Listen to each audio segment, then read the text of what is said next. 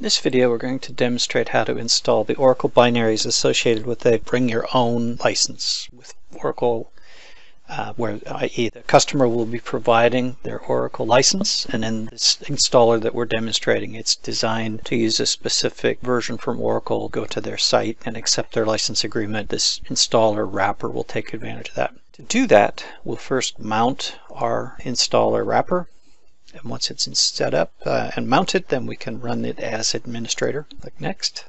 It does some space checks. If there are any issues here, it will let us know of problems and you'll need to remediate those. You need to read through this license agreement or at least scroll through it before you'll be able to then accept the terms and click Next. Read the requirements for this this indicates pretty clearly that this should not be an administrator account. This account name will be given the privilege to start and stop the Oracle services. If you're going to create that role specifically or that user, you'll need to allow it to administer services but not be a full-fledged administrator. This installer is designed to work with a version of the Oracle installer that you can get from Oracle directly, 19.3 installer for Windows. If we go ahead and have that already staged on here, I can point to that and then click Next.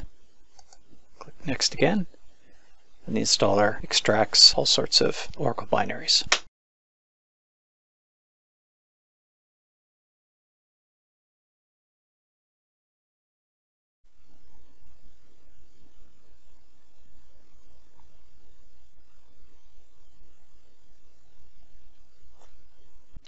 the uh, installer reaches a stage where it's going to prompt us for the Oracle Service User password. It's going to do that twice.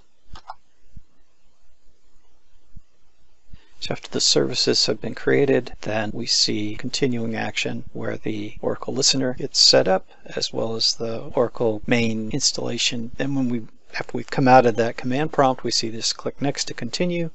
We go ahead and do that and that uh, completes our installation of the Oracle binaries.